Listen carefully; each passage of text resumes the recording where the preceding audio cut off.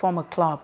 Oliver Giroud scored twice and Franck Kessié once as Milan won easily.